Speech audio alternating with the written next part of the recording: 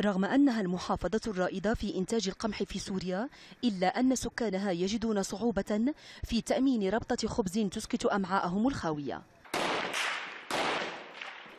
إنها محافظة الحسكة التي ترزح تحت هجمات داعش كما تعاني من تكدس اللاجئين الوافدين عليها ما يزيد الحاجة الملحة إلى الخبز في الوقت الذي تعرضت فيه معظم مخابزها لتدمير أوقفها عن العمل. وضع عجل بخطوات وتحركات السلطات المحلية لضمان استمرارية توافر الخبز في الأسواق.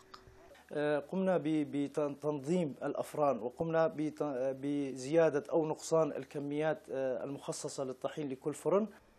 كما زادت السلطات ساعات العمل في المخابز الخاصة والعامة والمطاحن فأصبحت تعمل لوقت متأخر من الليل لتغطية الحاجة المتزايدة في منطقة الجزيرة.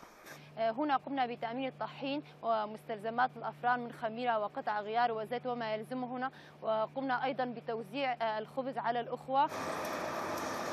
وينتج مخبزا الحسك الأول وآذار يوميا كمية تتراوح بين 70 و 90 طنا من الخبز في حين تستمر السلطات المحلية بدعوة مخابز الدرباسية وعمودة والقامشلي ورأس العين وتلتمر إلى زيادة الإنتاج لتأمين حاجة الأسر في المحافظة ونواحيها مع العلم أن إنتاج تلك المخابز أصبح يتعدى حاليا 150 طنا من الخبز يوميا بحسب تقارير اقتصادية زينب خرفاتي العربية.